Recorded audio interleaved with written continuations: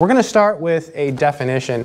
This is a very important definition, so I'm going to write it down completely. And then we're going to like talk about the definition, and then we're going to use this definition to actually do some proofs. We're going to be doing proofs today, like, or at least proof-like problems, right? So this is the definition of linear dependence. So we say a set of functions, so a set of functions and so we have to give the functions names. You could also say a list of functions, but I'll say a set of functions, and I'll call them f sub 1 of x to f sub n of x, is said to be linearly dependent. So is said to be linearly dependent. So linearly dependent, and I'll underline that, dependent, if pause here. See if I can find a better marker while you catch up. So a set of functions f sub 1 through f sub n of x is said to be linearly dependent, hmm, linearly dependent if, there we go, that's what I'm talking about. That's a marker. That, look at that. That's it. on an interval i, oh, oh, I forgot to say that. On an interval i, on an interval i, I for us is always going to be the real numbers, right? This is a DE class, so we're not going to go nuts with it. Uh, if there exists, so there exists, there exist constants. These are numbers, so constants. We like to call our constants uh, using the letter C, so we'll do lowercase c sub 1 to lowercase c sub n. So c sub 1 to c sub n. Let me pause here. So we're saying a bunch of functions are linearly dependent on some interval i, which is going to be the real numbers. If we can find some numbers, and here's where it gets even more confusing, they're not all zero. That means they can't all be zero. So if you can find some numbers that are not all zero, such that, such that you have what's called a linear combination of these functions. So what does that mean?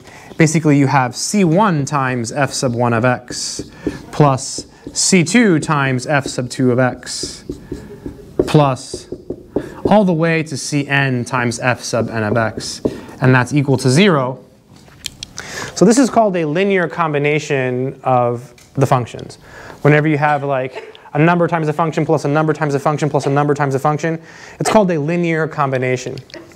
So if you have this uh, for all x and i, let me pause.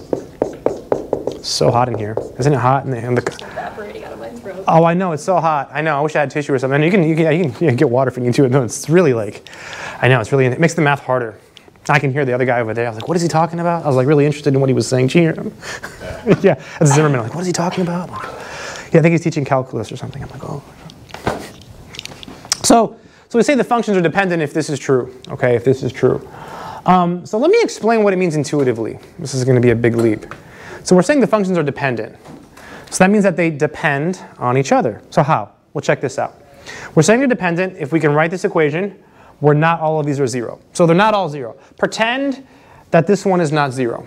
If this is not zero, you could subtract these guys, and you would get C1, I'm going to erase this, but you would get C1 equals some stuff, right?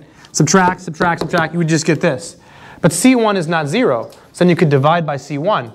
So you would get f sub 1 equals some stuff with the other ones. So f sub 1 can be written in terms of the other ones.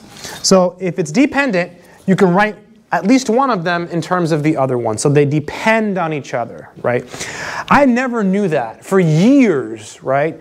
I just never really thought about what it meant, but that's what it means, right? Functions are dependent if you can take at least one of them and write it in terms of the other ones. What do you think the opposite of dependent would be if you had to guess? Independent. Independent. So I'm going to write that down in a full, complete sentence because this is this is new. You're not used to doing math like this. You can take Calc 1, 2, and 3 and you'll, you don't, you don't do this. This is linear algebra. So if the set if the set of functions is not linearly dependent, so is, and I'll go to that board in a minute, is not linearly dependent. I know it's a lot of writing, but it's worth it. It's worth it. we say they are linearly independent. So we say, we say they are, I felt the cool breeze, maybe it's in my head. They are, yeah, I know, it's like linearly independent. I zoned out, independent. I was trying to feel the breeze, independent. so hot. You me to go up there and pan you down while you're teaching? Yeah, you don't mind coming up and being, I'm kidding, no, I'm kidding, I'm good. No, that's really fun. You, you don't mind being, you can come up and do it, it's fun. huh? Oh, I am so sorry. I was listening to him and I wasn't paying attention to the guy next door. Anyone know what it stands for? Such that. Such that. Good question. Very good question. Such that. Yeah, such that. Such that.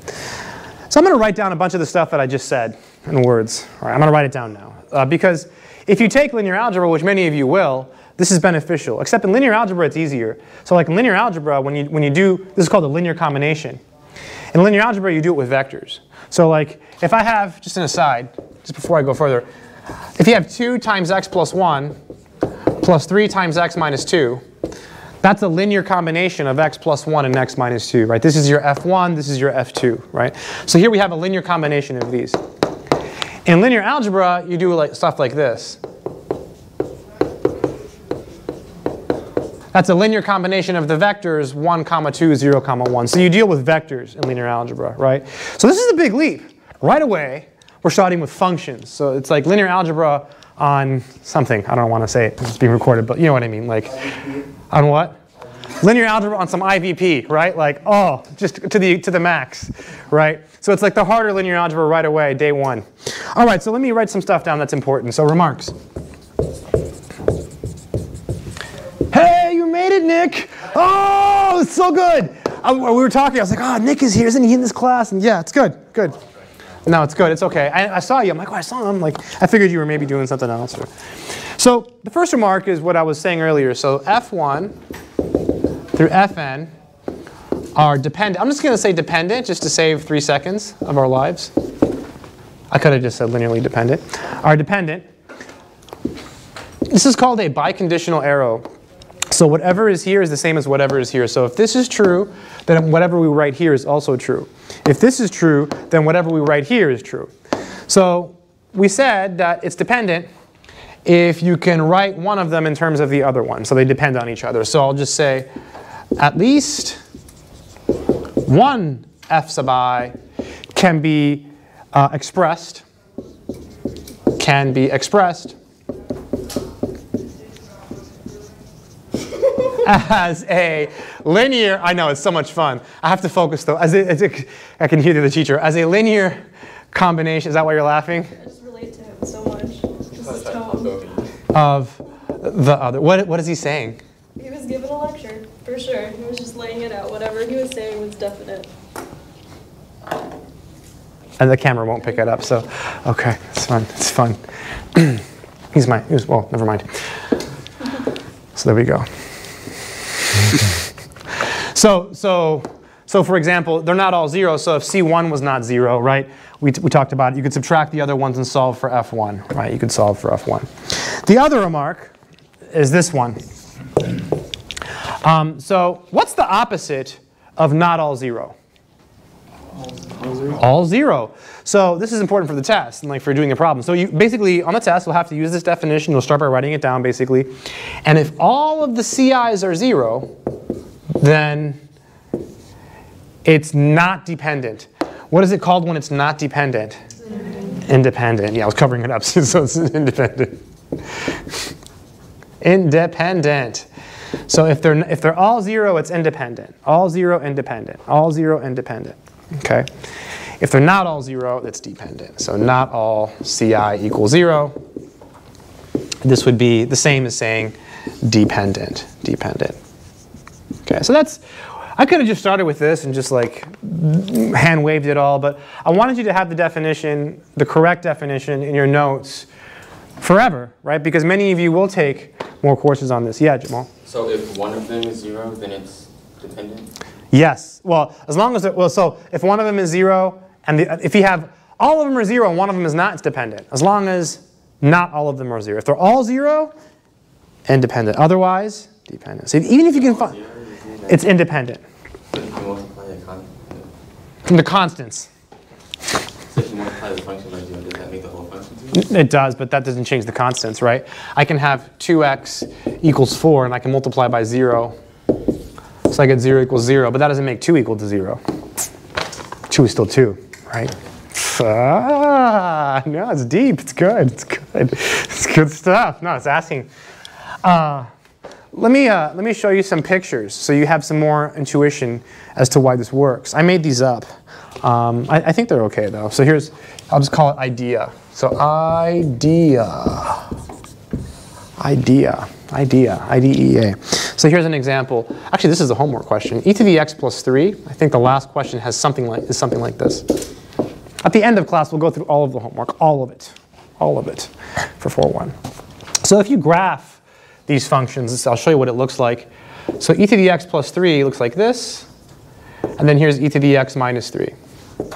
Okay, so this is, this is this one, and this is this one. So it looks like we took e to the x plus 3 and we shifted it over. It's like a translation, right? You see how it's been translated? So in this case, they would be dependent. So graphically, two functions could be dependent in a situation like this. In the homework, you have a question like this. You have e to the x plus 3 equals fill in the blank times e to the x minus 3. And you actually have to fill in the blank. That's all you have to do. And then you have to say dependent or independent. Obviously, you know the answer. Anyone know what number we have to put here? What constant? e to the what? Zero. Nope. Nope. So, Plus three. No, it would be plus three. It would just be x to the third. nope, almost. Six. Uh, almost, almost, not six. Oh, no, no, it is six. It is six. Oh, I'm sorry, it's six. It's six. It's six. Sorry, it's, it's a verbal mistake. It doesn't count. Oh, oh, we're doing double points now, if you want, right? No, it doesn't. No, it's got to be. It's got to be written. That's Udash. I don't make the rules, Udash. I just follow them. So, so, so, so it's got to be written because I say the wrong thing all the time. Oh, you wouldn't even have to take the test. If that was the case, you would get an A just for coming to class. So, so, so I say bad stuff all the time. So, six plus you add, right? You add the exponents, right? So, so. Oh, so what does this mean? Look, this function is a number times this function. So this function is a multiple of this function. That's how you say it. So two functions are dependent when they are multiples of each other. Okay, let me write that down. Why not? Let me not be lazy. Two functions, it's worth it. It's worth it. It might help you someday. I had to prove this when I took linear algebra. I remember struggling. Uh, two functions are dependent, I'll just say dependent, if they are multiples of each other. So if they are multiples multiples of each other. They say linear algebra is really important. I met this guy once, his name was Michael in grad school, and he said that linear algebra was the most important math in the world. That's it, that's all he said. Yeah, but yeah, but he, but he was really smart, right? So like when he said it, I was like, oh. He had been there like five years, you know, like he was like a veteran student. Didn't even take classes anymore. Just I just talked to professors. And he took all the classes they had, right? He was just finishing up his thesis. But he said that it- it's more important than calculus, right? It comes up more than calculus. At some schools, you have to take linear algebra before you take this class. Mhm. At UCF, it's this one, right? MAS 3105. Except you do mostly stuff with vectors. You don't do, you don't do stuff this advanced. And then 3106, that's the one where you do proofs. But 3105, it's four credits. It's at UCF. Is it harder than differential equations? Depends on the teacher. I took, I did really well. I'll brag. I got 100 on all the tests, and I failed the final. I did, yeah, I did. I remember I was sitting on the floor. The teacher comes out, "How are you doing?" I said, "I failed the final." And he goes, "Ha ha ha!" ha," and he walked away. Like that's all I remember. I was like, "Oh." I was like, "I lost my A. I got an A though." Um, so yeah, 3105. It's all vectors and stuff. It's pretty easy if you get a decent teacher. It's not bad. Here's another example. It's another example. 3106 is the one that's proof-based. That's the one that I would not recommend taking unless you're a math major, right? That one will consume your life. oh, it will. It will. it's like comparable to like a hard engineering class, right? It's like really, it's upper level. Yeah, you don't want to do that to yourself. Unless you have to. So here's e to the x. That's this one. And then here's e to the 2x. That's this one. So, so they're just, uh, doesn't matter which one's which, but that's e to the x, that's e to the 2x. So based on the picture, Like comparing it to the previous one. What do you think? Dependent or independent?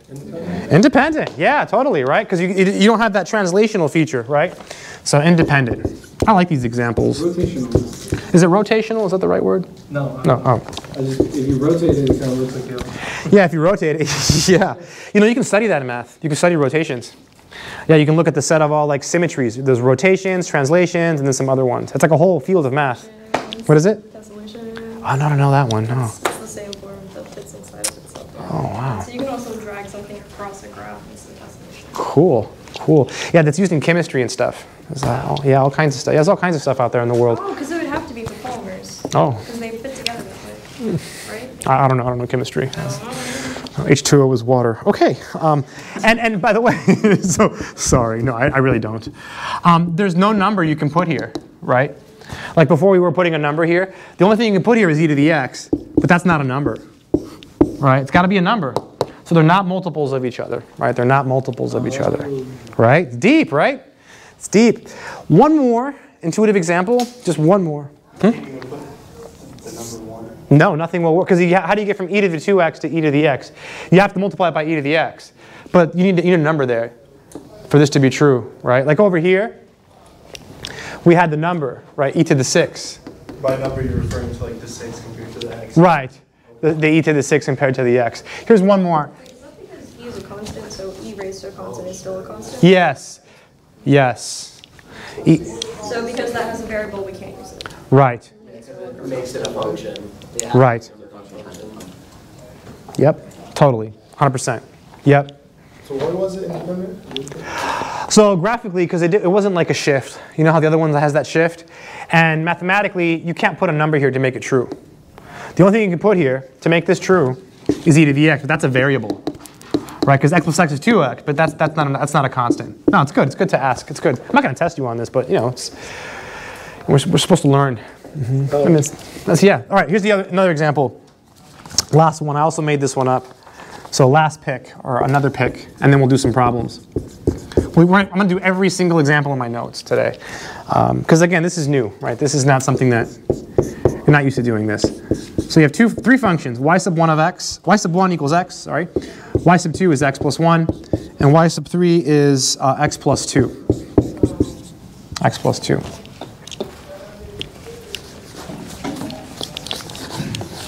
So if you graph these, these are all, I made it up, so I made it easy. So that's x, that's x plus 1, that's x plus 2. so it's like, so it's all like, all translations. I mean, it's supposed to, they're supposed to be parallel. What, what, uh, what do you think they are? Dependent or? Yeah, dependent. hmm they're dependent. They depend on each other. You might say, how? I'll show you. I, I worked backwards and I figured it out. It turns out that x is equal to 2 times x plus 1. I worked this out beforehand, before class, many years ago. These are the same notes I used when I first taught the class because I'm lazy.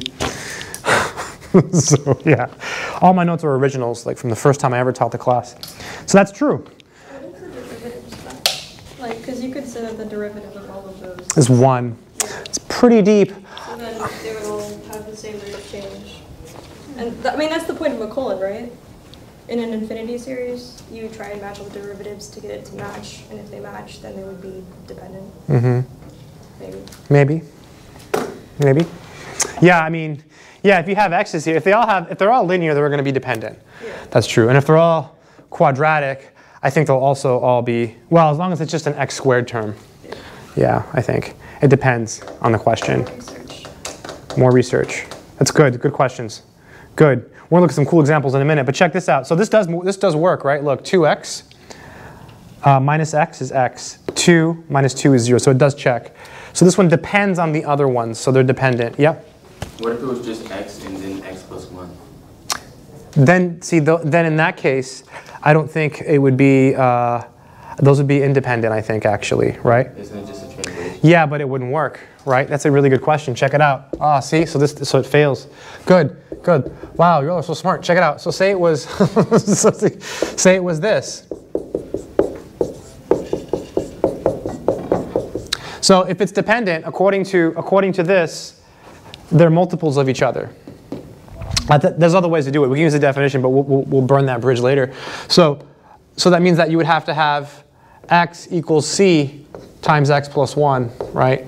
And I don't think I don't think you can do that, right? Like, how would you solve this? Um, I guess you could subtract this. So you would Wait, get. Uh-huh. that's to say that um, uh, pulling out t in front of a consistent set of terms isn't possible Is a possible situation for where we would be dependent. in Calc 3. No, and like yeah, could be. So in this case here, Why couldn't c be t? Hmm? Why couldn't c be t alpha? No, we're doing the t. Yeah, that's the, the, the homogeneous ones. Yeah, that could be the case too. Yeah. But check this out. I think this can't happen.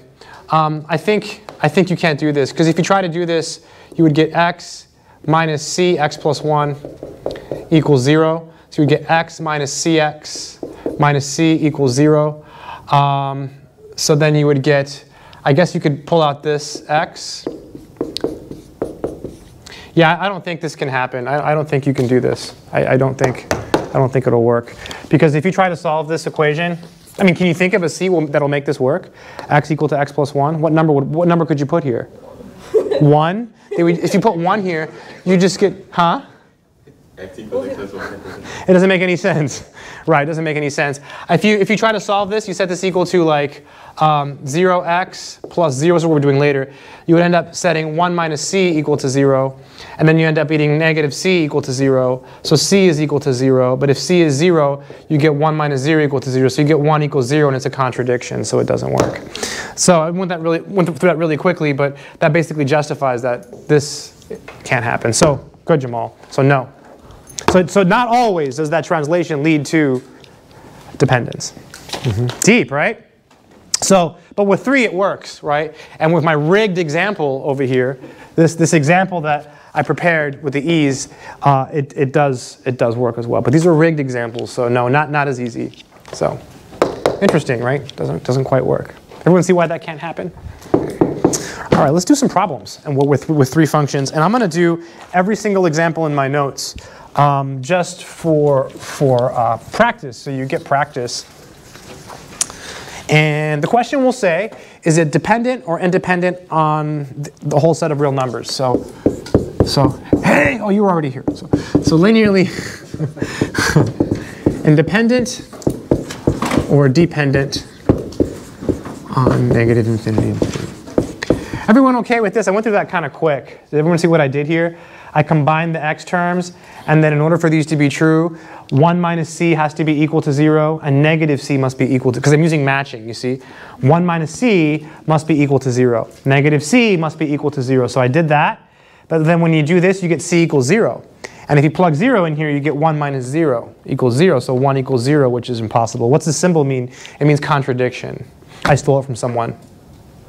I saw them do it, and I'm like, I'm doing it. So it's this. When a chicken tries to put its foot on anything, it just scratches. Yeah, I have chickens, and I yeah, and yeah, yeah, yeah, I have a chicken graveyard. It doesn't matter. Okay, A. I know I have three chickens buried in the backyard. Okay, so f sub one of x. I know it's really bad. I just yeah, it's nature, right? Nature is really cruel. Yeah, I know. I just had one die. I. Did I tell you? Yeah, it died in a day. Like, yeah, something killed it. Yeah, didn't you say raccoon did it? Yeah, because the head was gone and it was just dead. And it's, it's really bad. I know. I know. happened by a raccoon. Hmm. So a raccoon in the middle of the day killed your chicken? Yeah, it was the sun was out. Yeah. Mm-hmm. Yeah, I still have one left. So. Huh? No, because the one that's left is a bully. So okay, so solution, and she killed one of the other ones. So so yeah yeah, it's really dark. I'm telling you, animals are brutal. Okay. They were a chef. All right, so when you start these problems, oh, by the way, by the way, is this, this is a tough question. Is it dependent or independent? I don't, Dependent? it's dependent. Can you explain why? Why?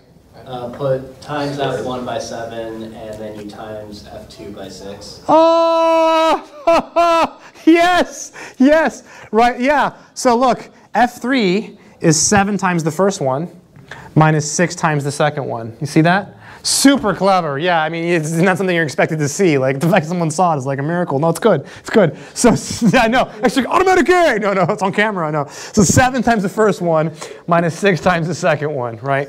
In this situation, would you say that F2 is dependent on F1 in the sense that it's squared, and then F3 is dependent? It doesn't work that way. Mm-mm. No, they're all dependent on each other. In particular, F3 depends on these two. How does F1 depend on the rest of them? So they don't have to depend No big deal. Particularly individual. Like between one and two, they don't depend on each other. Right, these aren't, these aren't dependent together. But They together, are all dependent to three. right, Yeah, okay. at least one of them has to depend on the other ones. Well, why isn't F2 On all of them? on F1? Yeah, huh? Why isn't F, oh, thank you, let's, yes. okay. Good, no, ask, it's good. This is a tough concept, right? And it's a big deal. All right, so let's start the problem. Yeah, work it out. Let's work it out. Let's work it out. All right. So you start by saying suppose or let or assume. I'm going to say suppose. I'm going to abbreviate suppose though. Suppose, Matt, do you know how to spell suppose? Yes. It doesn't matter. You know how to spell it? Yeah, okay. Yeah, let me just, I mean, just in case, right? Because like maybe like, oh, I never learned how to spell it in school. Well, suppose that. Suppose you never did. so now you have to write down a linear combination. So it's just C1 times this, C2 times this, C. So just write that down. So C1 times x plus C2 times times x squared plus C3 times uh, 7x minus 6x squared. And then you're supposed to say this is equal to 0. But this is true for some constants. C1, C2, C3. Now, these are real numbers, right? So let's be a little more pro in this class. Why not? It's our one opportunity to do it. So, do you all know the symbol, what this means? Ever seen that? Yeah, all real numbers. Do you know what this means? Belongs. Who said that? Oh, Luigi. Yes. Ah, yes. Belongs. Is a member of. Is in. Is is an element in. So you can just say these belong to the set of real numbers, right? So you don't have to put that on the test, but I, I figured I'd throw it in there just for some extra rigor. And this has to be true for all x and r. So anyone know what the symbol is for, for all in mathematics?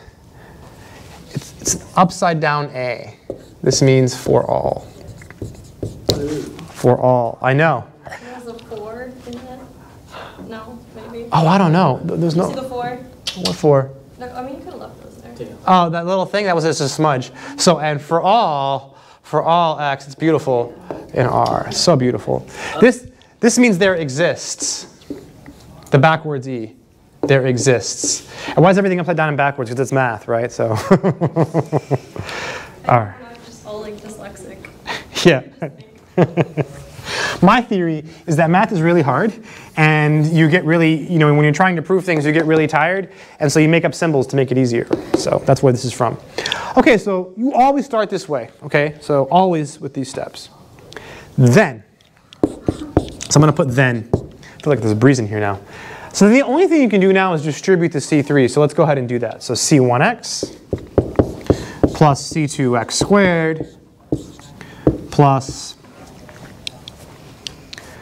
7c3x, right? 7c3x. This is beautiful. Minus 6c3x squared, right? 6c3x squared. And this is equal to 0. You don't have to keep saying this with the c's and stuff. It's, it's good enough. It's almost like a proof. If you were proving independence, this would be a proof. Or it's almost like a proof. Like we're almost, we're just so close. Like we, we could do some rewording and make it a proof, and it would be like an airtight, 100% solid mathematical proof. But we don't need to, right? This is DE.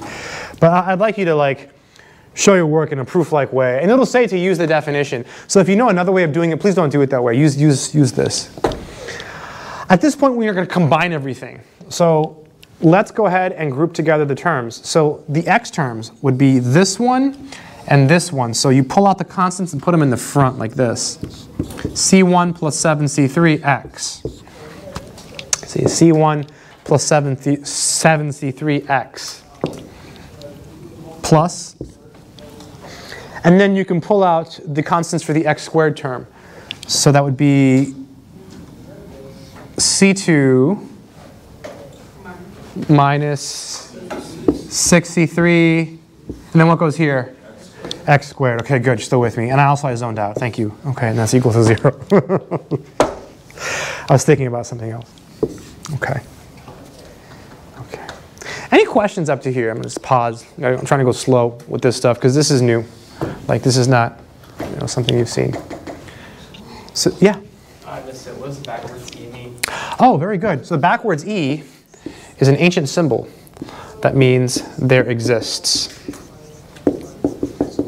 Yeah. If you're wondering where you learned this, it's uh, yeah. Why do we need to know that? You, you don't. You don't. But it's good because I was talking about this one. So.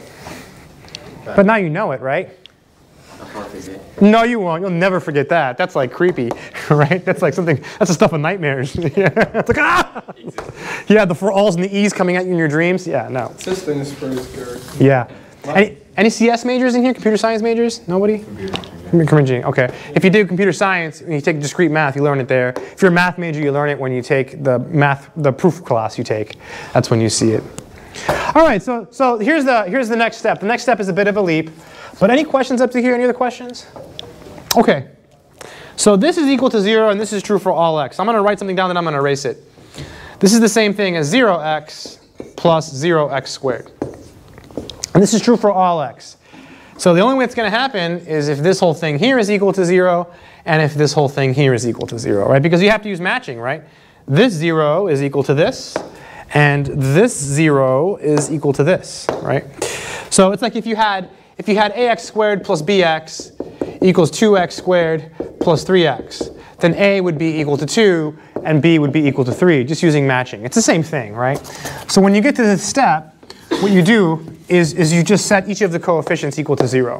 Okay, so I'll do it up here. So c1 plus 7c3 equals 0, and then c2 minus um, 6c3 equals 0. Thanks. I was looking at that to make sure the mic was, this morning when I recorded this, the mic wasn't connected. Like, threw it away. Sad. We recall, if they're all 0, it's independent. You might say, okay, you just plug in zero? No. The definition says if you can find numbers that are not all zero, it's independent. So if you can find numbers that are not all zero, sorry, it's dependent. Dependent. I misspoke, so I said the wrong thing. That would have been points. So I think we can solve this for C1 and say why. Because now there's a C3 here, and we can do the same thing here. And there's a C3 here. So we've solved both in terms of C3. And I think now we can plug in numbers. You don't, you don't want to plug in zero, right? Because the thing says, the definition says, if you can find numbers that are not all zero, it's dependent. So what's the easiest number in the world besides zero that you can plug in for C3? One. One. So just, just pick C3. Pick any number. Don't pick zero, right? Don't pick zero. When, when is it going to be zero? When you have no choice. Like if you have no choice and they're all zero, it's independent. But if you can find numbers that aren't zero, go for it, right? So that would mean that C1 would be negative 7, right? C1 would be negative 7. I'm going to circle it. Like, yeah, it feels good. Or box it, but I didn't box it. Uh, and then C2 would be 6. So we found constants that are not all 0 so just to make sure you got it, what would the answer be? Dependent or independent? Dependent. Dependent. Because they're not all zeros. Yeah. Because the definition says if you can find numbers that are not all zero, then it's independent. Then, then it's dependent. So If- if we were to plug in any number Any number. and they're all zero, that means it's independent? Yes. No what number we plug in? Independent, you know what's going to happen? You will not have the opportunity to plug in numbers. Like you won't even get to the step. Like they'll just all be zero. You'll see. It's like forced upon you. Yeah, like you have no choice. If we get this far, it's pretty much dependent. Yes. Yes. So if you, if you get to the point where you can plug in numbers, it's going to be dependent.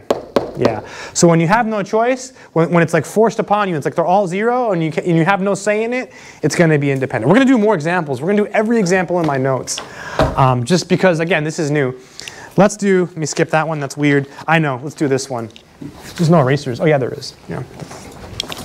So when you get to zero, that's because you're describing connections that don't exist, thus they're nothing, they're zero. Say that again?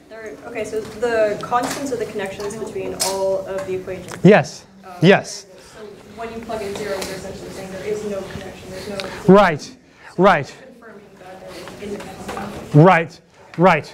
right? So if you plug in zero, then like you're not really satisfying, you're not really showing dependence because to show dependence, you have to show there exists these constants. Right, okay. So we showed some existence. So here's another one, B. So how about this one? F sub one of this. will- After we see, after you see this one, it'll make a little more sense. So let's see. So F sub two of x equals x. F sub three of x equals x squared. This is a good example. This one's a little bit better.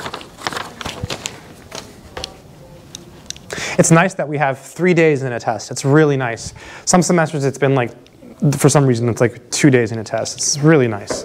Well, it's a little more relaxed this time, I think. Okay, so solution. So we'll start the same way, right? Do you remember what word we used at the beginning? Suppose. Suppose. You can also use assume or let, but I like suppose. I'm going to go back to my way. Suppose that we have c1 times 7 plus x plus c2 times x plus c3 times x squared. That's equal to 0 for some c1, c2, c3, c1, c2, c3 in the set of real numbers. Right, this means these numbers are elements in the set of real numbers. Elements are, are things in a set. Um, so these are the elements in the set of real numbers. This means belongs to, is in, is a member of. And what was the symbol for all? Do you remember the upside down? Yeah, the upside down A. And for all x in R. And you take a whole class where you learn this stuff, where you learn logic, you learn the symbols, you learn how to write proofs. When you study math, that's what you do. It's, and you end up taking, and all your classes, all your classes start with this stuff. Every single class you take starts with a review of the notation and sets. So by the time you get a math degree, if you know anything, you know this. Mhm. Because you do it in every single class. so the first day of class in most of your classes feels great, and then the second day does not. So then, so then, I guess we just distribute, right? So let's do that. So 7c1 plus c1x plus c2x. I love this. This is math plus c3x squared. By the way, if you're wondering what this has to do with differential equations, uh, it turns out that when we have an equation, say of order 3, and, we and it's linear, and we have three linearly independent solutions, if you take a linear combination of those solutions, you have the general solution. If you have an order 2 differential equation, and you have two linearly independent solutions, the general solution is a linear combination of those. So we're gonna, we're gonna talk about that later today. So it's, that's, it's a big section. What do we do next? We group them up. Yeah, group them up. Group them up. So let's do it. So I think this one's by itself, right? So, and then this one, these are, uh, oh, these are together. C1 plus C2. And then this one is by itself. And this is equal to zero, right? Equal to zero. I like this. It's very different, right? No, no, the days of Bernoulli are gone, right? It's, it's, it's like a fresh start. And then you set all the coefficients equal to zero, right? So 7c1 is zero, c1 plus c2 is equal to zero, c3 is equal to zero. Beautiful. This means that c1 is equal to zero, right? Because you can divide by seven. So C1 is equal to, I'm going to put that in a box because that's an accomplishment. Oh, look what happens here when you put it here. You get zero because you get zero plus C2 equals zero. And C3 is equal to zero. So they're all zero and we had no choice. So what would the answer be? Independent. Independent. You see how there's no choice? It just happens. It just happens. It's like forced upon us. It's forced. That's the word you use in mathematics uh, when it's fun to use that in math proofs. Whenever you can use that in a math proof, it's like, it's like, this forces x to be equal to zero. It makes you feel like a champion. Get to use the word forces in a math problem. I mean, how often does that happen?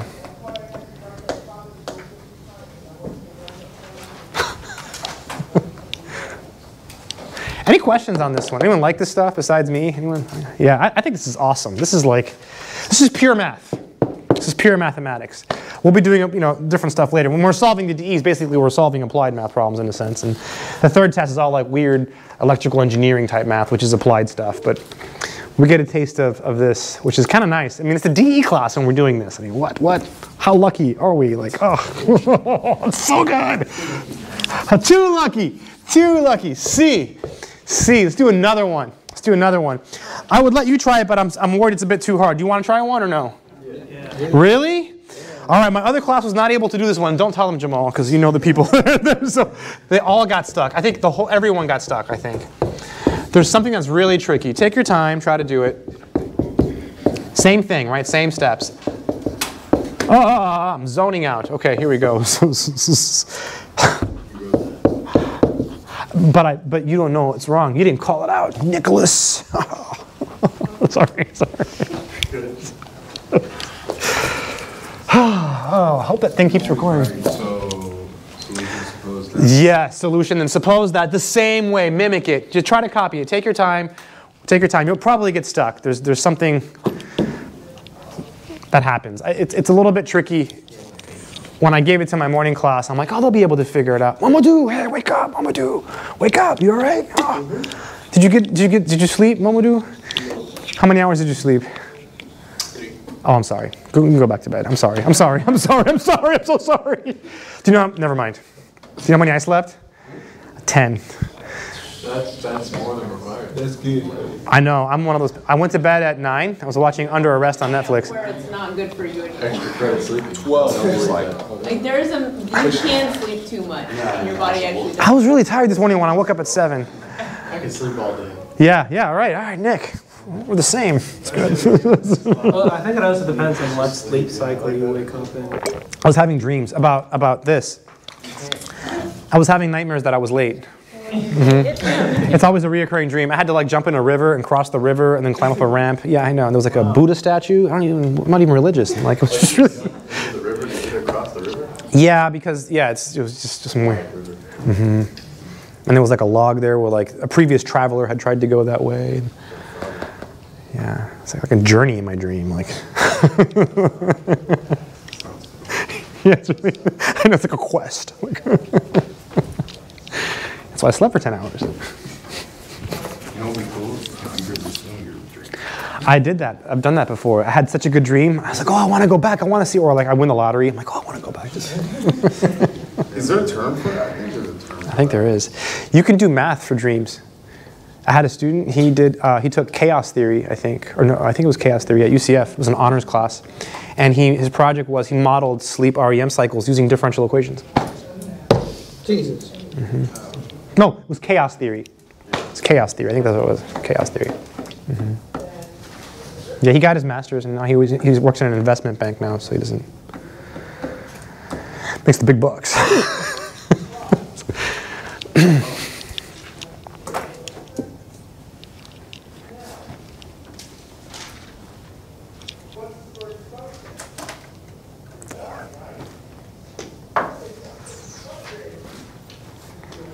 Anyone get it? No, that's okay. Yeah, take your time. You'll probably get stuck. I'll, I'll work on it in a minute. Still working. Wow, it's been recording for an hour. I'm surprised.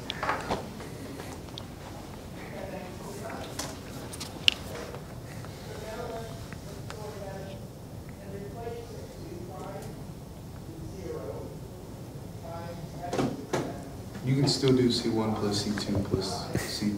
Yeah, I think you have to do that in this one. I think that happens in this one, Matthew. Yeah. Did you get stuck, Renee? No, I just got something that. Is, yeah, I know. It's really tough. I know. I have your homework up right now, and I already answered the question on this. Yeah. It's not the same thing. Oh, it's not. Oh no. yeah, and the homework is really easy. It's like two choices. It's dependent. It is dependent. I think it is dependent. So is this right? Let me see. Isn't that it? No, you made a mistake, and that I figured you would make that mistake. It's my fault because I haven't really gone over that yet. Like that's why I was like hesitant because of that. You have to set the whole constant term equal to zero. The whole constant term. Let me do it. Let me do it. Let me do it. So solution. So you start by saying suppose that you have C1. Whoa, fail, fail. Okay, C1 times x. I got too excited. Plus C2 times x minus 1 plus C3 times x plus 9 And that's equal to 0. And this is for some C1, C2, C3. And for all x in R. Okay. Who made it that far? Just curious. Okay, good, good, good, good, good. I mean, you get points for that. Like, I mean, not- it's something, right? Every, one semester, someone wrote, suppose that, and they quit. they just, yeah. yeah, and then they did good on the rest of the test too. Like, it's so, so, they just forgot that because it was so long, right? They had reviewed all. I mean, you get stu- once you start working on like 4.4, your life is consumed, and like you forget about all this, and so. Still work it out if you don't write it. Hmm? You can still work it out if you don't write it. Yeah. Yeah, yeah, if you don't write that. So C1x, distribute here, C2x minus C2. C3x plus 9C3. Yeah, did I mess up or something? Uh, no. I don't think so. Yeah, I yeah. was just gonna ask. Uh-huh. If you can plug in a number, that just means you could. Yeah. Oh, okay. General, if you can find numbers for the C's that aren't all zero, you got it. Yeah, Mamudu, you had a question? Curious, if you forget to write the Suppose that? That stuff, how many points would you take off? I don't want to answer that question. if I say one, then I might forget. I'm weak. You gotta It's- say twenty, so we- I guess say 20, the whole thing, just burn the test. No, no, I'm kidding. No, no, no. I don't know. So if you can solve for C1 in terms of the other ones and like C2 in terms of the other ones. It should be dependent. Yeah, it should be. So can we group anything here? The x's? Yes, there's a constant. And the, and the constants. Very good. Today. I know, I almost called you something else. So 9C3 minus C2. See how I did that? See how I rewrote these? I did it just to help myself to make it look better. See, it's 9C3 minus C2. So now you set this equal to 0. And here's the thing. You set this whole thing equal to 0. That's what I was talking about, Rafa. Yeah, I know. That's the part that I was like, oh, I didn't go over that. So see, the whole constant. Why didn't we do that this one? We did, but the, the, the constant was just this. It was one term. Here the constant is a sum. You set C3 equal to C2s. So you do, so you do, so now you set this equal to zero, watch, I'll show you. And this whole thing equal to zero. I got there, but then I moved C2 over and then divided by 9. Oh, just do, the, go, okay, good, good. Uh, You made it this far? Yeah, I divided then, uh. That's it. I, I set both of them equal to uh, C2, Yeah, C3 equal to 1, let's do that. Eric? Jeff. Jeff, let's do that, Jeff. Yeah, so I think this, I was, in my morning class, I did this one and I almost did something, I, I almost solved for C3, but I didn't because someone said what Jeff, Jeff? Je- What Jeff said. So do this and now just make C3 1. Because that makes it easy. Because if C3 is 1, what's C2? 9. So what's the best route to take? I don't know, just the easy route, right? And now, now you know C1 plus 9 plus 1 is 0. So C1 plus 10 is 0. So C1 is negative 10. So what's the answer? Dependent or independent? Deep, deep, dependent. Yeah, dependent. Because by the way, that's a good. That's I'm glad you said that. So what if, like what Nick said, what if you do this and then you say the wrong answer? You do get a lot of partial credit. I feel bad if that happens. Like you do everything right and you put independent. I was like, oh come on, like you know. So Is there like specific constants that you would get, or it doesn't matter so long as you pick one? Because like I did it too, but I did it a different way. I have different constants. Should, you should have the same exact constants. still dependent. You should have the same exact constants. Otherwise, it's wrong probably. Well, I have C1 being 1 instead of C. Oh, that's fine. That's fine. Okay. That's fine. You just pick different numbers. Yes. I mean, you should have the same combinations. Yeah, that. Oh, that's good. You can make up numbers. Yeah. Just a little lost on that part. How you got the C3 is equals to 1. So oh, we made it up. So once you get here, Momodou, you just think, what's a really easy number? 1. So just to clarify real quick, you didn't combine both of the terms in this one because one of them had a variable? I didn't say that again. I didn't Just to verify. say it again. Yes, so uh, this time you didn't combine the remaining terms because they have different variables. This one didn't have one, the other one had this. Right. This one just had a single term. Got it. Yeah. Can you have more than one set of constants that would have them? Yes. Yeah, I could have done C, C3 equals 20.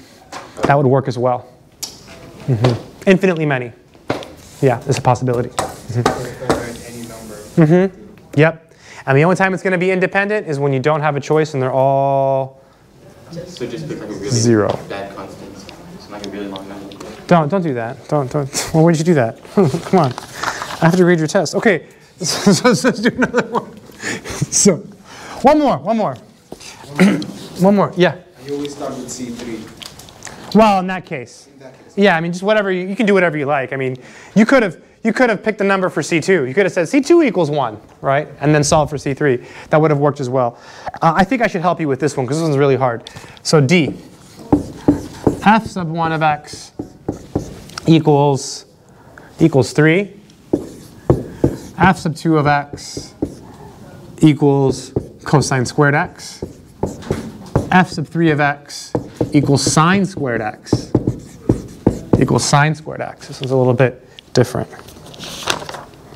You can think of this one like just by the trig function, right? Because cosine two x plus sine two x equals one, and so if you multiply them by three, they would. So good. So it's dependent. Yep. So cosine squared plus sine squared is 1. Multiply it by 3 and you get 3, so they're dependent. Hardcore. But let's, let's work through it and pretend we didn't know that. But she's so good. So good. Extra. Nah, she doesn't need it. Solution.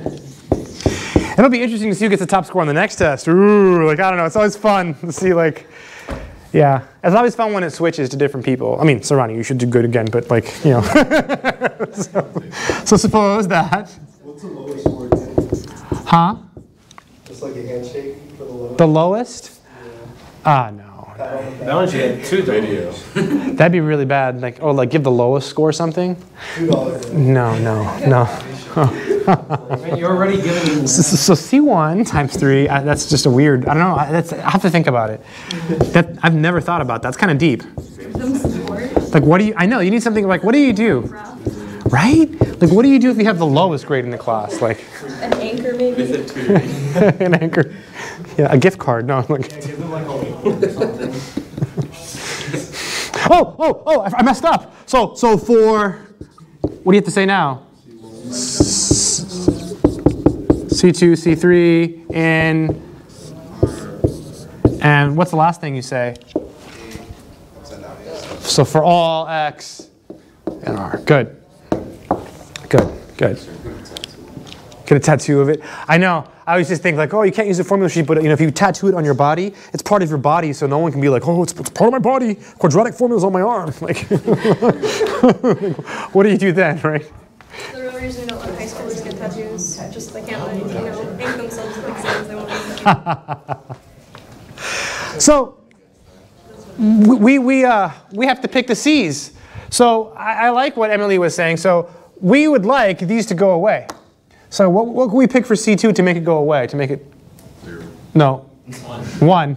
Well, zero makes it go away too, but you want to have the trig functions left, right? That's okay. It's good. So so pick or let or put. I don't, I don't like that word, but allow allow allow. Oh wow wow wow wow. That's that's deep. C2 equals one. C3 equals one.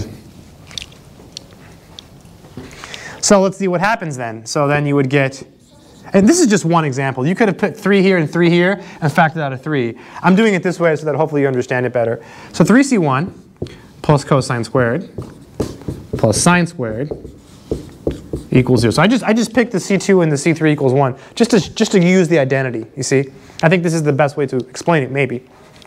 Oh, we're, we're doing something really cool after this. And then what's, what's cosine squared plus sine squared? What's that going to be? 1. Yes, this is 3c1 plus 1 equals 0. So that means that 3c1 is negative 1. Yeah, thanks. So c1 is negative 1 third. Yeah, so that's it. So we have all the c's. Oh, I guess we still have to write the answers. What's the answer? Dependent. Yeah, dependent. So I forgot. Sorry. Go ahead. So you said if they're all zeros, they're independent. Right. All the same. So if they were all ones, that's still dependent. Mm-hmm. Um, is there a step right before you rub the, right after? Like right before. Before this? Yeah. No. So yeah, before this you look at it and you say, okay, how do I get just this? I make them both ones.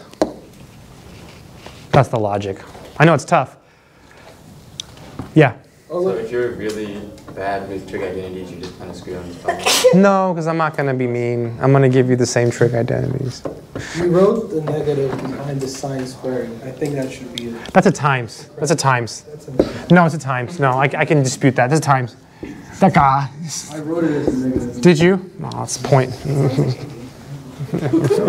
So could you reiterate how um, it's dependent, but they're not all the same like answer? Dependent just means, C1 is negative one third, and another is one. but they're not all zero, so it's dependent. Wasn't the last? No, they're not all, no, they're, it's also dependent. If they're not all zero, it's dependent. If they're all zero, it's independent. You want to do one more? I've been, I've been writing it wrong. Oh. You want to do one more or no? No? I have to make one up, so. Then no, okay. Continued, so continued. Continued. So we're to do something a little bit different. Uh, so definition, definition. Feels good in here to have air conditioning. It's almost like just very different. So definition. So we're going to define something called the Wronskian. Hey! The Wronskian, so Wronski, un, spelled like this. Anyone know where that name is from? Like what country it's from? Wow. I was expecting everyone to say Russian because like Wronski, like you know. You're right. It's Polish. I always thought it was Russian for some reason. Um, but yeah, it's Polish. So the Wronskian. Wow, Kyle, extra credit. No, kidding. Of yeah, you don't. You won't. You won't need it. Uh, so, well, you won't. Of f sub one to f sub n. So, given a bunch of functions, okay, we're going to compute what's called the Wronskian of of those functions. So is. So is this is something that we're going to use in the homework. It's a tool that we're going to use. So I'm going to call it w, and it's equal to the determinant. I'm going to show you how to uh, write it correctly, just for fun, of the following. So in the first row, you have just the functions. So we have f sub 1, f sub 2, and then we have to indicate that there are some things missing. Hey, you got a haircut, Tony? Hey, oh, looks good. It's good. No, it's good. It's, good. Um, then you have some dots here, dot, dot, dot. No, looks, looks, looks smarter. And then here you have fn. These dots, anyone know what they're called? They have a name. Ellipses, yeah, ellipses. Um, so you have three dots to indicate that stuff is missing. Then in the second row, you take the first derivative. So you have f1 prime, f2 prime, dot, dot, dot, f sub n prime. I'm going to write it out completely correct so you can like see how to write down an n by n matrix. It's kind of cool. And then we have to have uh, some missing pieces here. So we have more ellipses. So we have dot, dot, dot, and then it'll be f1. And now we're down to the n minus 1th derivative. So, whoa, I lost a point there one semester and I put an n. Whoops. Uh, yeah, it's n minus 1th. Mhm. My notes are all messed up because of that. And then here we have dot, dot, dot, f sub 2, n minus 1th derivative and then dot, dot, dot, f sub n, n minus 1th derivative. Then we have dot, dot, dot. And then just to make it even more perfect and professional, we have to have dots here. Right? So if you really wanted to write it out the way you're supposed to write it out, that's how you write it. So if you look in a linear algebra book, you see stuff like this all over the book. It's like, wow. Uh, that's how I know how to write it because I've taken those classes and I have, I've been forced to have to do it in like homework assignments like seven times. You know, it's a million dots. Okay, so it's just the determinant of, of this of these functions and of this this matrix, right? So you have the functions, the derivative, the second derivative, all the way all the way down. What is it for? We're going to use it as a tool. So a couple couple remarks about the Wronskian, and then we'll do some examples.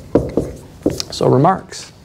The first remark, so one, is if you take the Wronskian of a bunch of functions and it's not zero, then those functions will be linearly independent. So I'm going to write that down. So if the Wronskian, so W, and in order to indicate that we have several functions, I'm going to put a parenthesis here and then put the functions here like this. I'm just making up some notation.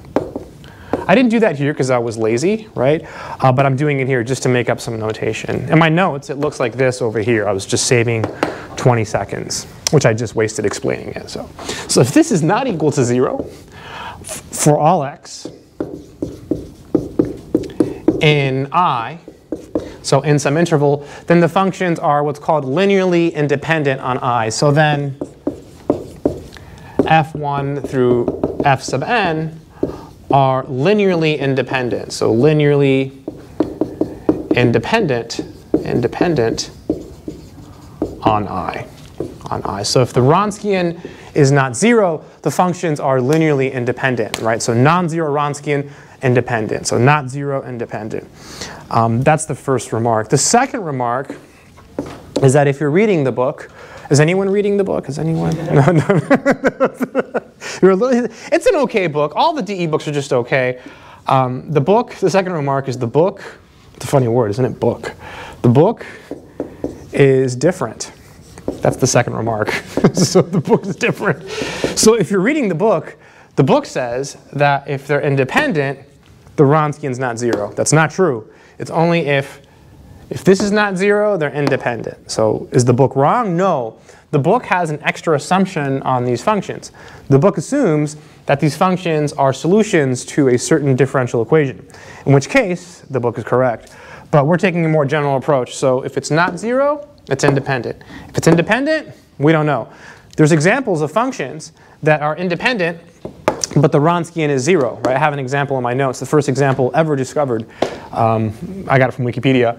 Um, and so, so it exists, right? There's examples of functions where this is zero and it's actually independent. So not zero independent. If it's independent, we don't know. So it goes one way. It's a one-way implication. When I first taught this class, I was like, the book is wrong. And I was so upset and I Googled it and I'm like, oh my God, Wikipedia is not wrong. I'm not wrong. What's going on? And the book states the assumption on the functions in a previous page. So I had to like turn the page. And then I would have learned that the book was right. So, um, so all non-zero answers are independent, but not all independents are non-zero answers? Right. So whenever you get a non-zero answer for the Wronskian, it's independent. But if it's independent, it doesn't mean you have a non-zero answer for the Wronskian. Boom, Kyle. Yes, on an interval, right, on an interval. Um, so let's do an example of like a test question. Oh, before we do, before we do, let me just recall some stuff. So recall, just really briefly, just in case you don't know this. Um, if you have the determinant of A, B, C, D, of like a two by two matrix. Let me just refresh your memory on this because maybe you, it's been a while since you've done this. Maybe you've never done it, right? Maybe this is the first time in your life. So basically you do this times this. So you do AD, right? AD. And then anyone know what symbol goes here? Do you, do you, minus, minus. And then if you want to finish the formula, what would be next? BC, very good. BC, excellent, good. So this is from uh, math. So it's AD minus BC. AD minus BC. AD minus BC. I teach this in pre-calc. In pre-calc, uh, we do matrices. So that's, that's maybe where you've seen it. So AD minus BC. All right, let's do like a simple uh, test level question, right? Test level question. One that's a nice, it's a nice question for your test because Unfortunately, you all only have an hour and 15 minutes for the test. Um, that's not a long time, especially once we get to 4.4, you'll see the problems are kind of long. So here's a nice, nice question. So prove, it's a proof. So prove that, so let's see, I'll just make them up. Um, f of x equals e to the um, 8x and g of x, great question, equals e to the 6x are linearly independent. Independent. Ah, feels so good in here, doesn't it? The, the AC working so good on the set of real numbers. I'll give you a minute to write it down, then we'll carefully go go through the proof. There's a bunch of these in the homework. You have to compute a bunch of these. I'm just going to write redo, so this will be something that you'll want to go over again when you're studying for the test. So last time we did several problems with dependence and independence. But that's what the C's, right? So on the test, it will say to use the definition. That's using the definition. This is different. If you see a question and it says prove independent, all you have to do is compute the Wronskian and say it's not equal to zero. Boom, right? So it's super easy. Usually everyone in the entire class will get this right. Uh, well, not always. Uh, people often forget to say this, so super key. So let's do it. So proof. So it's a proof, so we'll write, we'll write proof. It's a good way, good thing to write. So we can just start by writing W, or we can use like a word. I'm going to use a word, so like note or observe. Um, I'll just use note. The Wronskian, so W. So we're going to compute the Wronskian of, of these two functions. So in the first row, you just have the functions. It doesn't matter which one you write first. So I'll just put this one first. So e to the 8x. And this is e to the 6x. So e to the 6x. e to the 6x. Okay, that's the first row. Okay, that's the first row. So you always put the functions in the first row. In the second row, you just have to put the derivatives. When you take the derivative of e to the 8x, what, uh, what else are you going to get out front? An 8. Yeah, where does that come from? What's that from? Do you all know? What rule? Yeah, what rule is that though? Do you all know? The chain rule, yeah. Because the derivative of e to the 8x is e to the, it's really e to the 8x times the derivative of the inside, which is 8, right? So it's the chain rule. That's where it comes from. Um, I just wanted to show you that. So, so here it's 8 e to the 8x. And this one will be very similar, except we'll have a um, 6. Yeah, 6 6 e to the 6. Like this is fun. I like I like the, I like proofs, right? That's like yeah, this is, this is this is what it's about right here. Any questions so far on on on this one? All right, now we're going to use our formula, right? We're going to use this formula, this AD minus BC formula, okay? So when we multiply these, something happens to the exponents. You add them, yeah. So you add them. Does someone say that? Add? Yeah. Huh? What? You sure? You sure? To, to, I thought we were subtracting them, so like, we will, we will. Oh, not yet, no. So you add the x, because it's this times this, so you get 6e to the 14x. Now you subtract. There it is. Yeah, no, it's good. It's life. So, so it's 6e to the 14x minus, and then this times this will be um, 8e to, to also the 14x, right? Because you add the exponents, so we're there. Everyone okay with the, with the addition of the exponents? Any questions on? Okay. Yes, yes, sir. I had a question on how come we didn't add like another derivative? Oh, because you, okay, so basically because it's two, you just have a two by two. Thank you. If it was three, you would, you would do another one, right? Because it has to be a square matrix. Remember, you can only take the determinant of square matrices, so they have to have the same rows and columns. Yeah, we'll do a three by three after this so you see it. Good question, um, Kyle. No, no, jo Joan, John. Vincent. Oh, what is it? Ryan. Ryan. Good Ryan. Uh, how far can we expect? I mean, I'm assuming two by two, three by three. That's it. That's it. That's it. And three by three, even that's dubious because of the time. My night class will totally get a three by three, but you all, I don't know. Like, I, am worried about. I always worry about this class because I have a class right after this. It's like, I mean, your last test. I mean, some of you were here to the very end, right? Like, the last second. All right, all right. So now we subtract these. So six minus eight. That's going to be negative two, e to the 14x. Yeah, no bigger than a three by three, Duncan. So we're almost done, right? So the only time people mess up is, is when they, they stop here. All you have to do now is say it's not equal to zero for all x and i. Your i is, is this. So you just have to say not equal to zero for all x in the set of all real numbers. So negative infinity to infinity. So now you, you have to conclude the proof. So you were trying to show they're independent, so you should say that. So hence, the functions are, and it's a lot of writing, but it's good for you, linearly, I'll even spell it, independent. I wasn't going to. On the set of all real numbers. And I guess you could put a period, but we've worked so hard to get to this point. Typically in mathematics, when you finish a proof, you use a symbol, okay? So what symbol should you use? Well, you can make one up, right? You can make one up to finish the proof. The modern way of doing it is a box and it's filled in, right? Because it's typed in books. I don't do that. It's too much work. Um, the old school way of doing it is Q, E, D. Anyone know what that means in Latin? Quod erat demonstrandum, Very good. Yeah, I, that's better than what I was going to say. Uh, do you know what it means, though? because it was proven. Because it was proven. Thank you. Or that which was demonstrated, maybe? Yeah. Excellent.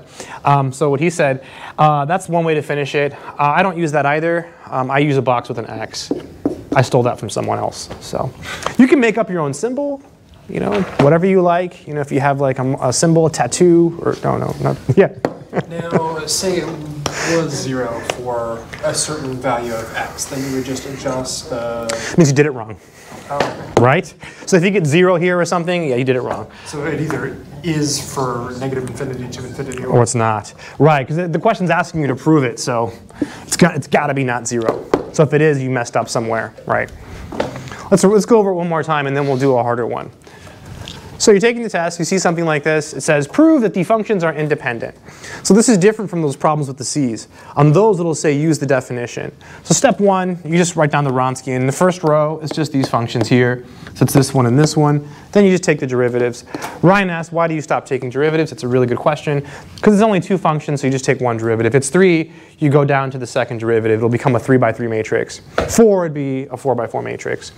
Okay, so then it's just this times this. So you add the exponents. 8x plus 6x is 14x. Minus, and then this times this, 6x plus 8x is 14x. 6 minus 8 is negative 2, right? You have 6 of these minus 8 of these, so you have negative 2 of those.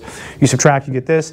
The most common mistake is people will stop here, and they won't say this, so please don't forget to say this. If you forget to do this, I mean, if it's worth 10 points, you'll lose 2 or something, you know, no big deal. Hence, the functions are linearly independent on, on that. And then you don't have to put a symbol, but it's good form. It's good to finish your proof uh, with, with the symbol. The symbol. So, any questions on this one? We should do another one because we have time, right? Maybe we should do uh, one more, a three by three uh, for practice, just in case. I mean, maybe I could. I mean, I could put it on your test. I don't know. I haven't even thought about it. What, your test is not until. Oh wow, never mind. Okay, it's, it's coming. It's it's it's in this month, right? It's it's the day before spring break. Sorry. So. oh, I know. I always thought, oh, who cares? That way people can study during spring break. People do terrible. Yeah. I gave like a stats test after spring break. I'm like, oh, that way they have the whole break to study. No. No. People forgot like the easy stuff. Like, yeah, I guess they didn't study during the break. Yeah. I do a lot of math during spring break. Okay, let's do it another one. That's like my catch up time. So let's prove that, uh, let's see, um, I guess we don't even have to call them f, g, or h. Let's just do e to the 2x, e to the 6x, e to the, what's another, what's a funny number? 69. No, no, it's too big. 69x? That's huge. I don't use a calculator. Oh, let's put a negative number there. Negative 12. Oh, all right. I'm starting to sweat. huh. Huh. That's going to be tough. Okay, I've never done this before, so this will be interesting. It should work. So prove that these are linearly independent over this set here. All right, we're going to go through this really slowly. Are we ever going to get non all real number? No, you should always get, yeah, it should always be not equal to zero. And, I, and it'll probably be easy. These are the easy ones. You have some other ones in your homework, they're kind of annoying. I mean, like, are we ever going to get a question where it's not negative infinity to infinity? No, no, no, no, no, not in this class. Mm-mm. Yeah, we try to keep it, I mean, yeah, mm-mm. this is DE. Mm-hmm. Are we gonna get like, say a function like with, like say it was x squared minus two x and then another function? Something different? Yeah, in the homework you'll have some different stuff. We'll look at it today. It's really simple though. Mhm. There's one with, with uh, ln x here in the homework. That one's a real pain. It's so difficult, like it doesn't fit on paper. We'll, we'll, we'll talk about it later. All right, so proof. It's really bad. So proof. So we'll start, just like before, by writing down the, the Wronskian, right? So note, or uh, observe, or no, no, let's do, let's do note. Let's go, let's st- stay consistent. N-O-T-E. Notice W is equal to, so we have this symbol here. And so in the first row, we have just, just the functions. So it'll be this, this, and this. This is going to be fun because there's a negative involved. It's kind of, I've never done one of these with a negative. I just, just never tried to do it. And this is this. So that is the first first row of the matrix. Uh, by the way, if you know other ways of computing the determinant, go for it, right? I know there's other ways of doing it. You can use any method you want. And the second row, we have the derivative. So it'll just be 2e to the 2x. So 2e to the 2x, 6e to the 6x. And then this one is the same, except negative 12. Yeah, it's going to be negative. So negative 12 e to the negative 12x. That one is the same. And then we have to do it again, right? Because it's 3, so we want to get a 3 by 3 matrix. What would, what would end up being here in this case? 4e to the 2x, good. Because you get 2 times 2, right? So 4, got to be careful here, e to the 2x. This one will be 36, right? 6 times 6. 36 e to the 6x. And this one will turn into a positive 144. Yeah, wow. Wow. Why did we, why did we do 12? It's all right. It's too late. We've started. Could have done 69. That would have been worse. more. That's even worse. 169. No. Okay, so we're here. Any questions up to here on this one? Okay, so there's six different ways to do this, well, the way we're going to do it. So we're going to use something called cofactor expansion. So basically that means that you can pick any row or column. Uh, so there's one, two, three, four, five, six ways to do it. It's also called Laplacian expansion. Let's just pick the first row. So let me just show you how to do it. So you, we're going across the first row. So you write this down. So always write that down. So e to the 2x. Now if you know Calc 3, it's like finding the cross product. You can do plus minus plus. You can do it that way. So it'll be plus minus plus. I'm going to do it a harder way on purpose, just to show you the more general way. So then you always have a negative 1 here, always. You can skip this if you're doing it plus, if you do plus minus plus, you can skip this. And then it's row plus column. So it's the first row, first column. So 1 plus 1. Okay, you'll see the pattern in a minute. Always, it's always there, no matter what.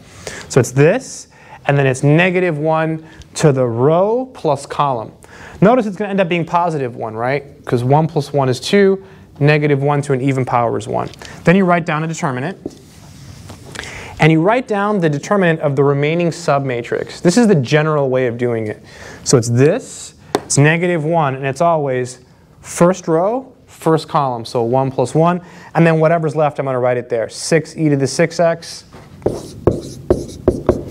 negative 12, e to the negative 12x. This is the real way of doing it. This is good to learn because if you take linear algebra, you, you'll you do it this way. 36 e to the 6x. And then the last one would be 144 e to the negative 12x. 44 e to the negative 12x. Okay. Any questions so far? I'm going to go to the next one now. Yes? Is that top row subtraction or is that like two separate terms with negative 12? Sorry, say that again. That next Here? No, This? Yes, that's two different terms in the top row. Yes. Sorry. No, I didn't know. Yes, because, yeah, I'll write smaller. So 144 e to the, oh, I already forgot, negative 12x. See? See what's left? It goes over there. So negative 12x. Thank you, Christian. No, uh, M- Michael.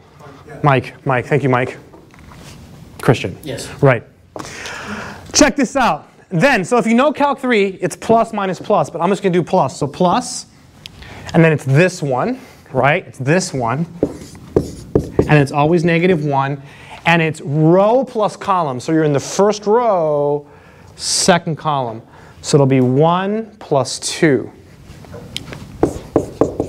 And then you write down the determinant of the remaining submatrix, right? So in this case, you cross out this. So it's whatever's left goes there. So 2e to the 2x, 4e to the 2x, which had longer arms. 2e to the 2x, 4e to the 2x. And then that stuff there, what, what, that, that, what, what's left there. So negative 12 e to the negative 12x. So negative 12 e to the negative 12x. And that piece there, 144 e to the negative 12x. 144 e to the negative 12x. Plus, one more. Again, you can skip the negative ones if you just do plus minus plus, but it's, it's good to know it the other way, right, this way. This is like the real way. Then you do this one, so e to the negative 12x. Then you have the negative 1. What would, what would the exponent be? What plus what in this case? Anyone? 1 plus 3. Very good. Very good, because it's the first row, third column, right? This is, again, is a beautiful way of doing it. This always works, even for a 4 by 4 or 5 by 5 And then again, so you cross those out. So then you take the determinant of the remaining submatrix. So that, that's what's left. So we have that. So 2e to the 2x, 6e to the 6x. So 2e to the 2x, 6e to the 6x.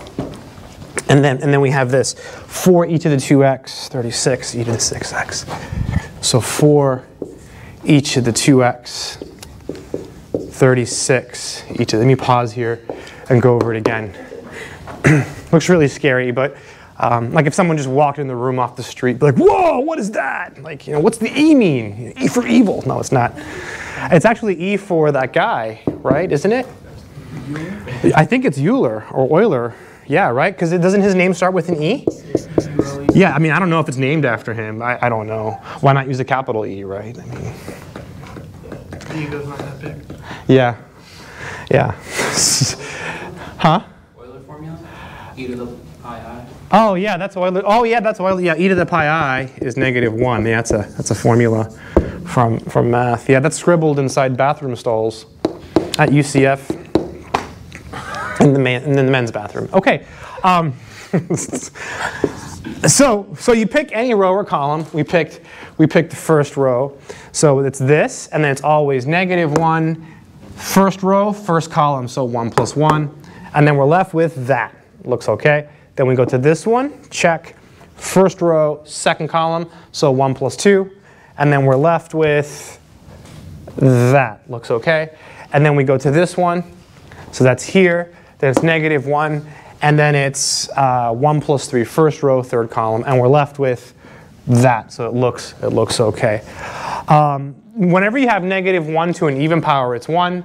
Negative 1 to an odd power, it's negative 1. So any questions on this method? Anyone never seen this before? Anyone ever, like, never seen this? You have seen it. Oh, okay. Anyone never seen this before, like, ever? Okay. That's good. Does it make sense? Oh, it's worth it. Like, this, if you learn anything today, this is worth it. Like, it's good. It's good math. It's linear algebra, right? Linear algebra. So I know there's another way of doing this by like drawing arrows and stuff. Uh, some guy was showing me that. In my Gerardo was showing me that. No, no, it wasn't. Yeah, it was Gerardo. He was showing me in my Calc 3 class. Oh, there's another way of doing it. But that fails if you get a bigger matrix. So this always works. We could have used this row too, or this one. The multiply diagonal. Yeah. Yeah, he showed me, but I forgot. So, yeah. Don't tell him that. But, okay, so this is equal to, um, so this is 1, right? Positive 1, so it'll be e to the 2x. Oh, these have names. Let me just tell you the names. This determinant, this determinant is called a minor. M-I-N-O-R, extra life knowledge. This is called a minor. And when you put the negative 1 in front of it like this, this is called a cofactor. Yeah, fancy words. So we do this times this. Uh-oh, uh-oh. 6 times 144. Anyone, anyone know what that is? 8, 8? 864. 864. Okay, so it's 864 e, and then what would the exponent be in this case?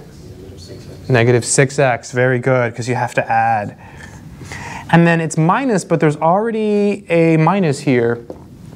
Anyone know what 12 times uh, 36 is? 432. 432, thank you. So plus 432. Yeah, this is probably why I always avoid uh, big numbers, uh, but it's too late. We have, there's no turning, yeah, So it's a plus because of that.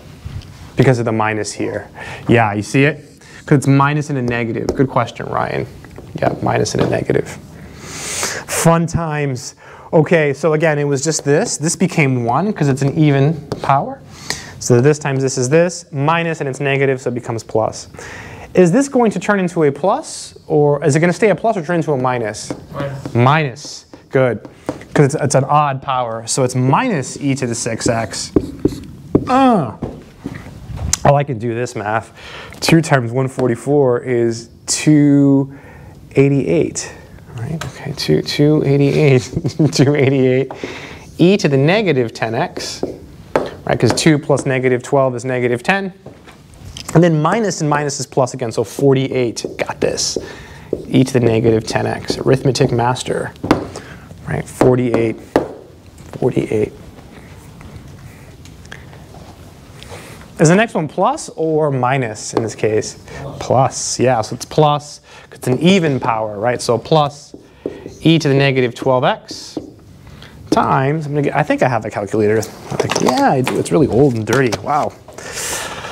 72. So 72 e to the 8x minus 24 e to the 8x. 24 e to the 8x. Duncan, hey, my God, sorry. Good morning. All right. Sorry. Any questions? Any questions so far on on this one? Any questions at all? Yeah. Do you also use Cramer's rule?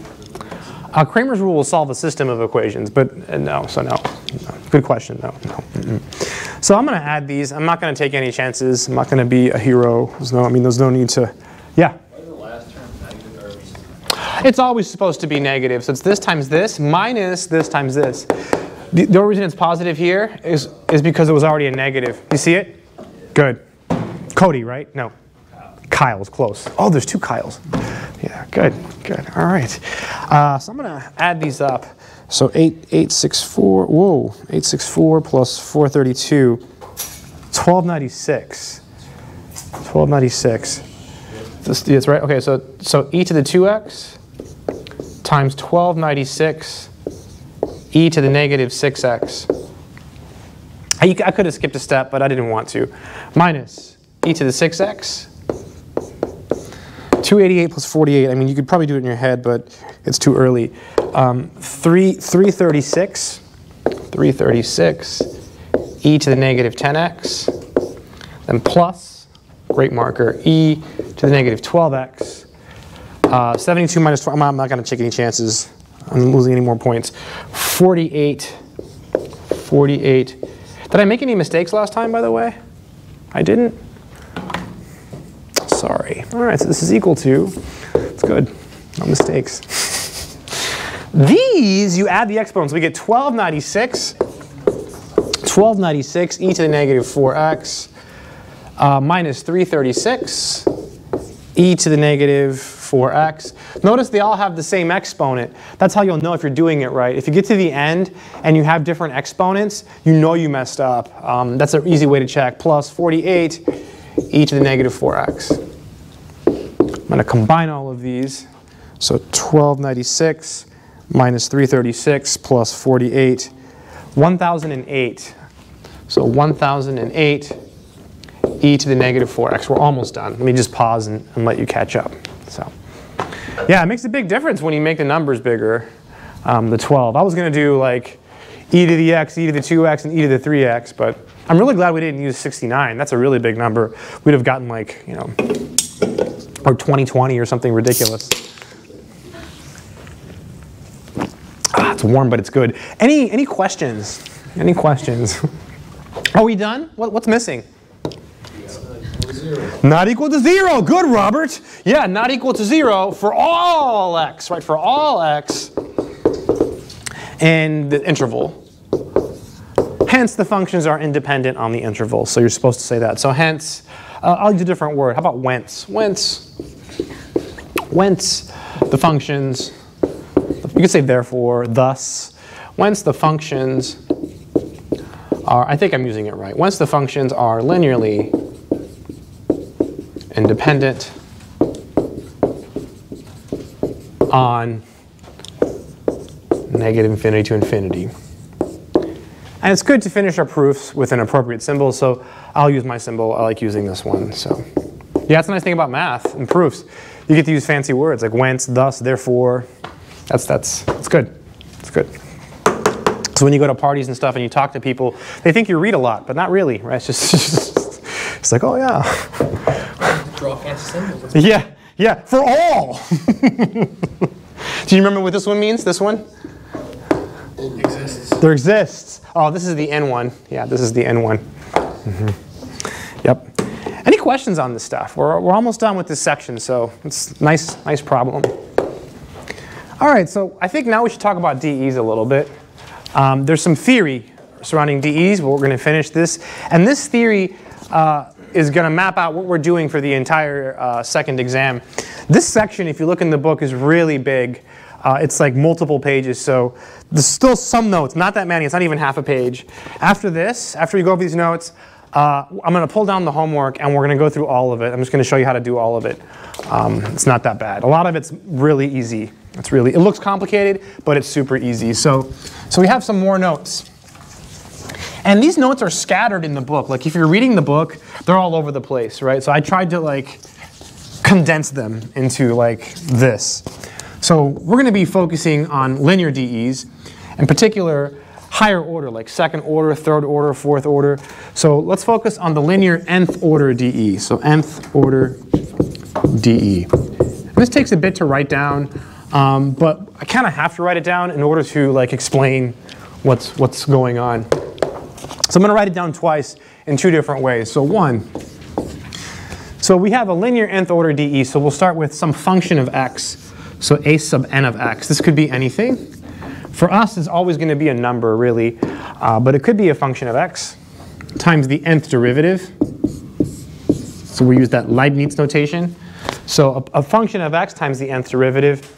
And then here we'll have the n minus 1th derivative. But I don't really want to write that, so I'm just going to put the three dots. So the ellipses.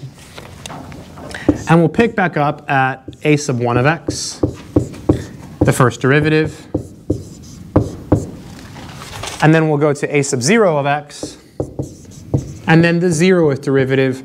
The 0th derivative is the original function, right? So y. And this is equal to 0. So this is a linear nth order differential equation. And it's equal to 0. So whenever it's equal to 0, we say it's homogeneous. You might say, what? That's not what we were doing before. The homos before were different. That's the whole thing with the alpha and the tx and the ty. It's a different homogeneous. so unfortunately, we use the same word in math for two completely different and unrelated things. So, so whenever it's equal to zero, it's homogeneous. Equal to zero, homogeneous. I'm going to write down the same thing again, except I'm going to put something here besides zero. I'm going to put g of x. I'm just going to write it again, a sub n of x, just so we have it on the board. Plus, dot, dot, dot, plus a sub 1 of x, dy dx,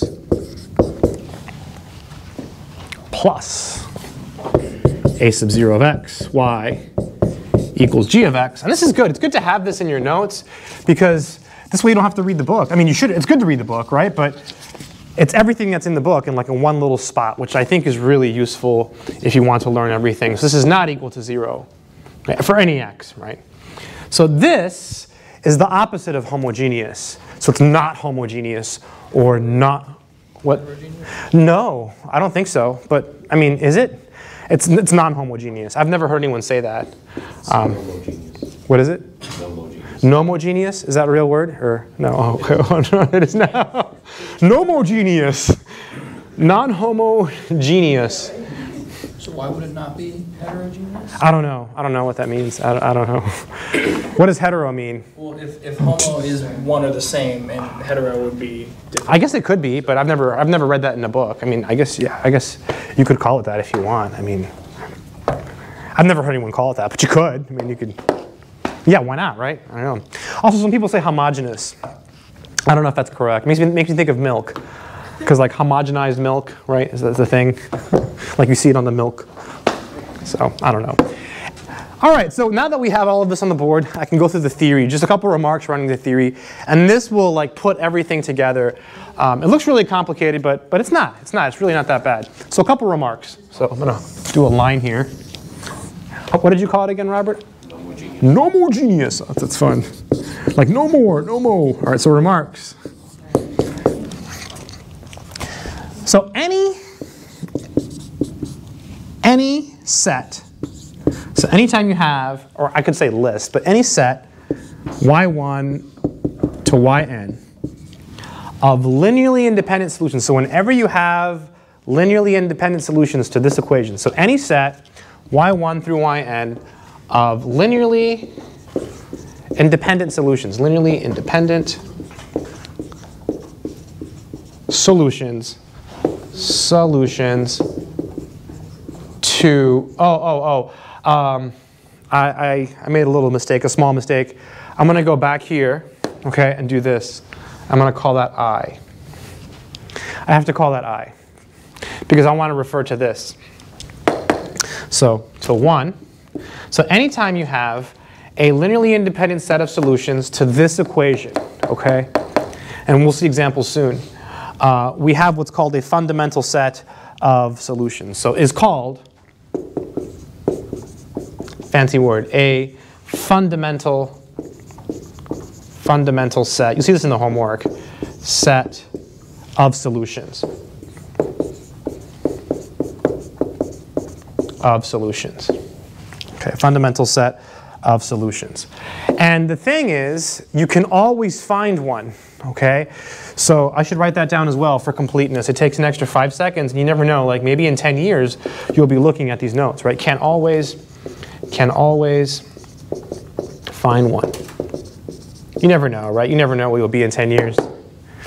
I went to this estate sale once. It's like a thing where they have where people die, you know, they sell the stuff. Yeah, and the guy was like this nuclear physicist, and he had his notebooks there, and inside his notebooks he had DE stuff, and I could understand it. And I'm like, whoa, this is what we do in class. It was like his private research stuff. He had some of this stuff, and he had the stuff we're doing on the third test. Yeah, he worked at, uh, I think it was Brookhaven National Laboratory or something. Like he died, I think. Huh? No, and they were only a dollar. And I drove home and I had so much regret. I bought a bunch of his physics books. I have like physics books from like the 30s and 40s, like signed with the original receipts. But I didn't buy his notes and they just threw them away. I know. I know it's really sad. Anyways, anyways, so so you never know, right? I mean, that guy was like in his 80s and he was doing DE, and I'm like, oh, this is the stuff we do in class. I'm like, he's like a nuclear physicist, and you know, this is like his private stuff. Like, oh, it's kind of cool. I don't know. Made this feel more important. So any set of linearly independent solutions uh, is called that. So we'll come back to this, and I'll give you an example in a minute. Two. Two. The general solution. So general solution to 1. So the general solution is an equation that gives you all the solutions. It's, it's all the answers. So the general solution to 1 is, well, basically it's a linear combination of your fundamental set. So it's y equals c1y1 plus cnyn. Now remember, that's called a linear combination when you have the c's in front of stuff. So it's a linear combination of the y's, uh, where,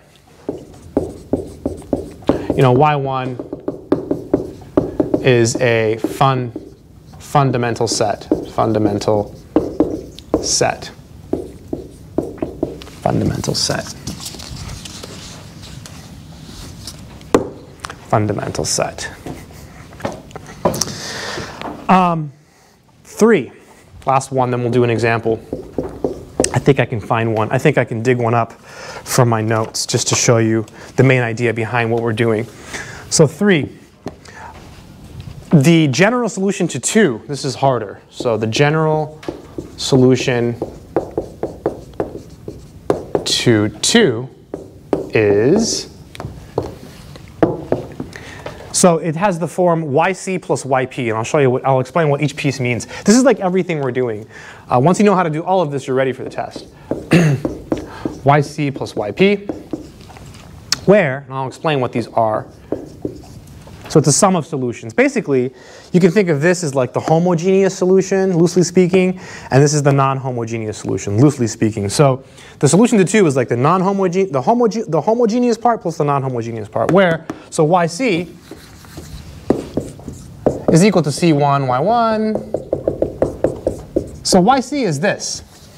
It's the same thing. We just give it a different name, right? Uh, so, and then this this has a name. Your book calls this the complementary function. They call it the complementary function. You can also call it the complementary solution. I like to call it that. I also, really, it's the homogeneous solution, right? So you can call it the complementary function, complementary solution, homogeneous solution. And YP, YP is a sum of particular solutions. That means it doesn't have c's, okay? There's no c's here. Uh, it'll be like sine x, e to the x. So particular, so the particular solutions are those that don't have c's. So I'm going to write that down. Those free from arbitrary parameters, so those that don't have c's. So arbitrary parameters. So that's where we're going, and I'll give you a quick example before we continue. I'll let you write. I'm going to give you an example here, a, a, just a contrived one. I can, I can pull one out. Oh, I have one in my notes, um, but it's not very good. I'll, I'll, get one from, from the homework that's a little bit uh, better. Uh, and then, then we'll just do homework. I'm going to show you how to do all of the homework. We're not actually solving DEs in this section. Oh, oh, so, so this, this is, uh, so this, this is 4-3.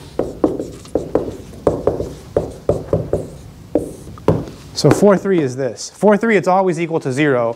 It's really simple. Uh, some of you have already started working on it. Um, it's not bad. Uh, uh, it's, it's, you can like knock out problems really quickly. You can do some of them in your head. Like it's like you, you get really good at it. I assign tons of homework, which is good. You get a lot of practice, but it's not, it's not bad.